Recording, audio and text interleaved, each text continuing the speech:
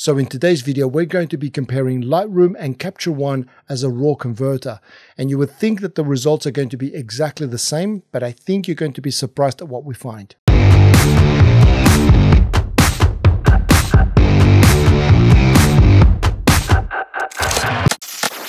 Hey everyone and welcome back to the channel. And if this is your first time here my name is Dan and I make videos about all things related to photography. And today we're going to be looking at two different RAW converters that are probably the most well-known ones and that's Lightroom and Capture One. And we're specifically going to be looking at just the RAW conversion component of these two applications. And just in case you're not familiar with RAW files what we're referring to is the information that comes straight from the camera's sensor and it's saved onto a file when that camera is shooting in RAW. Now a RAW RAW file is not a graphic file, so not like a JPEG or a TIFF file. A RAW file only contains information, and it's up to the RAW converters like Lightroom and Capture One to then grab that information and turn that into a graphic file. And in theory, you would think that regardless of where you do your RAW conversion, so whether you use Lightroom or whether you use Capture One or anything else really, uh, you would think that the images will look the same because all you're doing is you're reading the raw file so that you can get the color information and the luminance information out of that file. And I remember hearing about this years and years ago about how they rendered images differently and how one looked better than the other. So I did my own tests, and sure enough, there was a difference. I don't know why there was a difference, but there was a difference. And in my opinion, I leaned more towards Capture One. I thought that it rendered a much nicer and better looking file.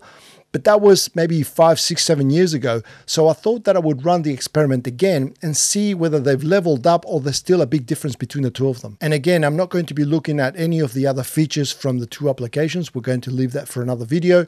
Uh, we're just going to look at the way that it renders the image and we're going to compare the results and see what we find.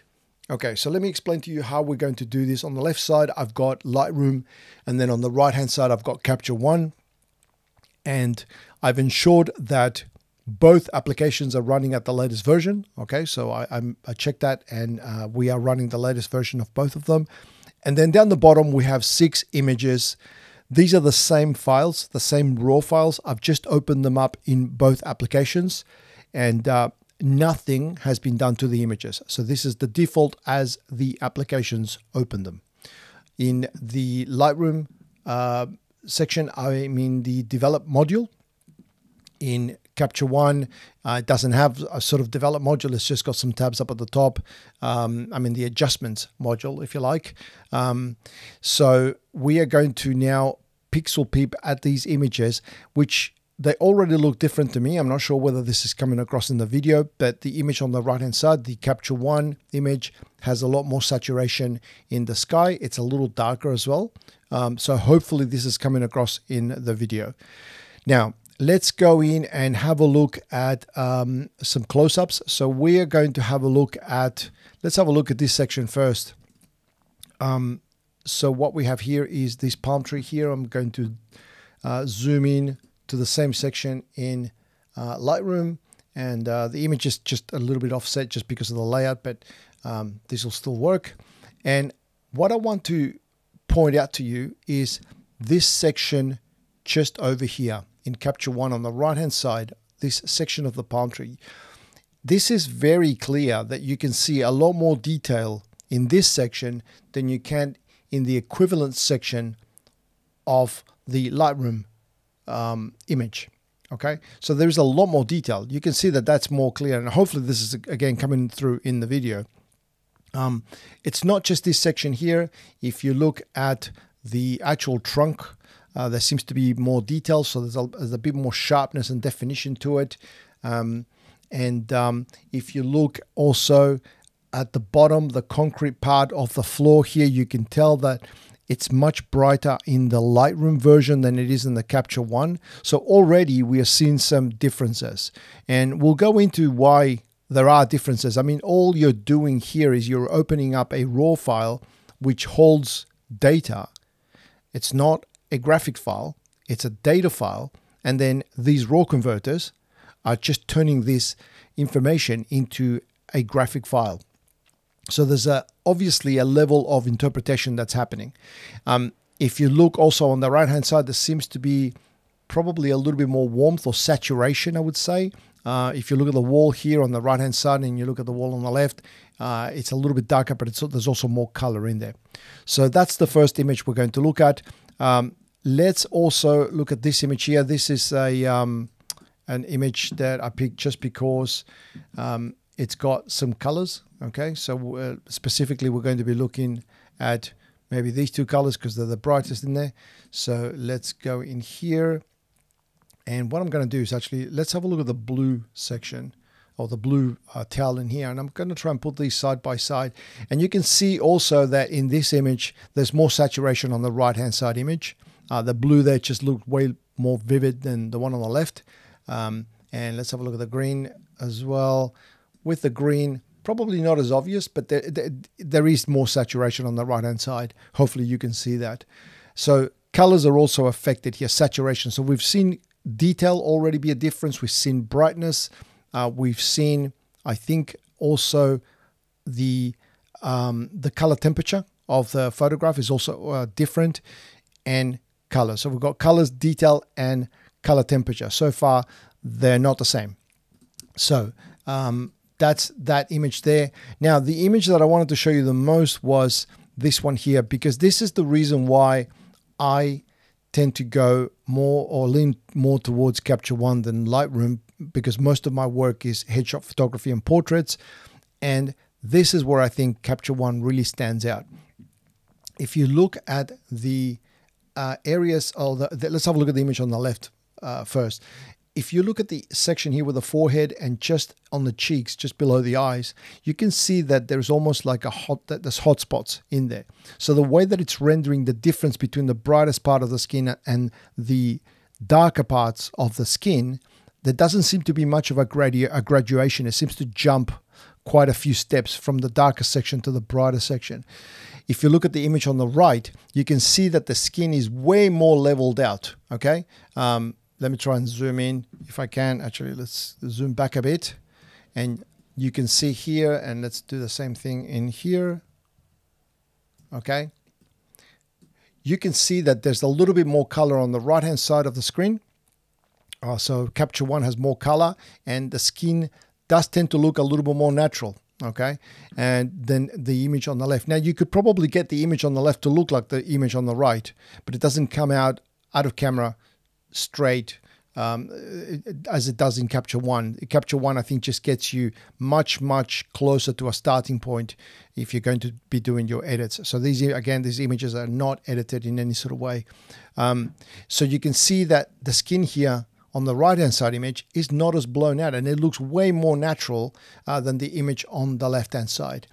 And the reason why this happens as far as I can tell. I've done some re- research into this, and this is not just explaining the uh, the skin tone here, but the colors and everything else is due to profiles. So when you uh, or when a Capture One opens a um, an, a, a raw file and turns it into an image, it does a an analysis of the image, and then what it does is it displays the image in a way that all the sliders on the right hand side here, like on the, the adjustment panel, are set to zero. Okay. Lightroom does exactly the same thing. When you open up an image, if the image is too bright, it doesn't reflect in the, uh, for example, the exposure uh, slider. The exposure slider will always be at zero, but it's starting at a different point. Okay, so when it opens up a raw file, it applies exposure, contrast, uh, highlight, shadows, saturation, detail, uh, or clarity, and, and, and sharpness, all that sort of stuff. So, as part of its profile, it applies those things and it displays the image as it thinks it should. And the thing is that they both do this very differently. So, what is a zero in Capture One may not be a zero in Lightroom. In fact, it isn't in most cases. So this, the way that they interpret the file and display the file is slightly different. And that's why you're seeing a difference between the two. Now, these profiles, you can actually, in, in Lightroom, you can actually see the profiles. If you scroll all the way down to the bottom, you can see the calibration. You can see that currently we're running at version 6 and um, and you can switch to some of the older versions. In fact, if I switch over to, I'll switch over to version one, and you have a look at the histogram, you'll be able to see that it, it makes a difference. So when I go to click on one, you can see that the histogram has changed. And that's because it's now displaying the information on the screen differently. So we'll go back to number six, which is the current one. And, um, and you can see again that the histogram has changed. Now, the uh, profiles on, uh, on Capture One are slightly different. Okay, so the way that it interprets the file is just different. And that's why there is a difference between the two of them. Now, it's up to you whether you like the left you know Lightroom or you prefer Capture One. For myself, I think that it renders Capture One renders a skin a lot nicer. This is a good example of what I'm talking about. And when I look at uh, the images before I start uh, before I start doing my edits, I find that it just brings me it. it I start from a not from zero, which is what I do when I'm, I'm in, in, Capture One, uh, in in Lightroom. Beg your pardon. In Lightroom, I have to bring this image that you can see on the left to look like the image on the on the right before I start doing any of my edits because I can't have blown out skins. It doesn't it doesn't look good as you can see. Um, this the, the, the image on the right looks way more natural. Now, ultimately, it's up to you, and both uh, Capture One and Lightroom are amazing raw converters. They do a great, great job. And there's other ones as well that are available. I'm just looking at these two because these are the ones that I use. Um, and um, and if you're looking at just raw conversion, in my opinion, Capture One is better.